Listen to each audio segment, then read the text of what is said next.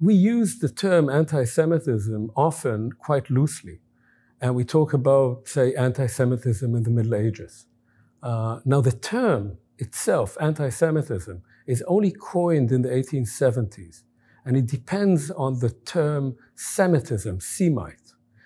That terminology goes back to 18th century philology, to studying languages. And there are languages that come from the Middle East, which are called Semitic languages. Uh, the term Semite comes from the Old Testament. However, by the time the term anti Semitism is coined, and it's coined in Germany, as I said, in the 1870s, uh, it means only one thing.